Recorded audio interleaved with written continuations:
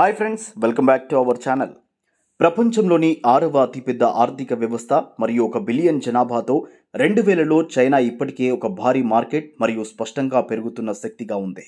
పంతొమ్మిది వందల డెబ్బై ఎనిమిదికి ముందు చైనా సోషలిస్ట్ ప్రణాళిక ఆర్థిక వ్యవస్థను కలిగి ఉంది మరియు చాలా వరకు ఒంటరిగా ఉంది. అప్పటి నుండి అది క్రమంగా తన ఆర్థిక వ్యవస్థను ప్రపంచంలోని ఇతర ప్రాంతాలకు తెరవడం ప్రారంభించింది. డబ్ల్యూటీఓ సభ్యత్వం ఆ ప్రక్రియను వేగవంతం చేస్తుంది.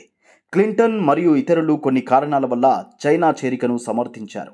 డబ్ల్యూటీఓ నిబంధనలకు కట్టుబడి ఉండడానికి చైనా తన విధానాలను మార్చుకోవాల్సి ఉంటుంది. టారిఫ్లను తగ్గించడం మరియు మేధో సంపత్తి హక్కులకు హామీ ఇవ్వడం ఇతర విషయాలతో పాటు యునైటెడ్ స్టేట్స్ వంటి దేశాలు ప్రతిఫలంగా కొంచెం వదులుకోవాల్సి ఉంటుంది. డబ్ల్యూటీఓ వంటి అంతర్జాతీయ సంస్థలో సభ్యత్వం చైనా యొక్క కమ్యూనిస్టు ప్రభుత్వానికి చక్కగా పనిచేస్తుందని మార్కెట్ ఆర్థిక వ్యవస్థకు దాని పరివర్తనను వేగవంతం చేస్తుందని మరియు ప్రపంచ నియమాలను ఏర్పాటు చేయడంలో ఎక్కువ వాటాను కలిగి ఉండేలా ప్రోత్సహిస్తుందని యునైటెడ్ స్టేట్స్ వాదించింది.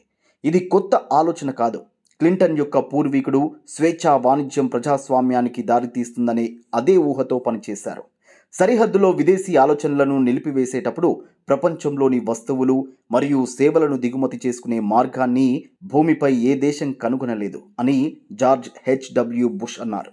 ఇది డబ్ల్యూటీఓను కూడా చట్టబద్ధం చేస్తుంది. సంస్థ వెలుపల చైనా అతిపెద్ద వాణిజ్య దేశం.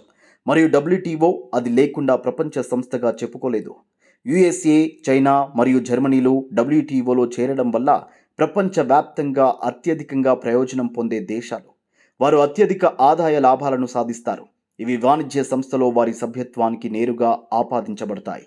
కోవిడ్ నైన్టీన్ యొక్క నిరంతర అణిచివేతను ఊహిస్తే ఈ సంవత్సరం వృద్ధి ఎనిమిది పాయింట్ ఐదు శాతానికి చేరుతుందని అంచనా వేయబడింది. వచ్చే ఏడాది వృద్ధి ఐదు పాయింట్ నాలుగు శాతానికి తగ్గుతుందని మేము ఆశిస్తున్నాము. ఎందుకంటే తక్కువ బేస్ ఎఫెక్టులు చెదిరిపోతాయి. మరియు ఆర్థిక వ్యవస్థ దాని పూర్వ కోవిడ్ ట్రెండ్ వృద్ధికి తిరిగి వస్తుంది. ఇటీవలి సంవత్సరాలలో ఇస్లామిక్ తీవ్రవాదుల నుండి వరుస దాడులలో ఫ్రెంచ్ పోలీసులు లక్ష్యంగా చేసుకున్నారు.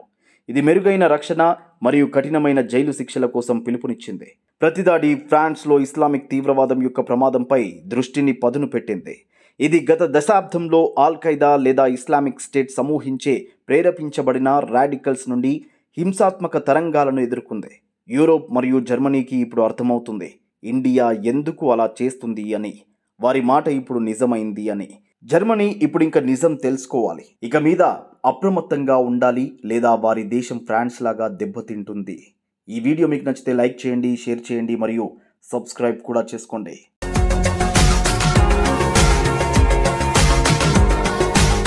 మరిన్ని అప్డేట్స్ కోసం మా ఛానల్ని సబ్స్క్రైబ్ చేయండి.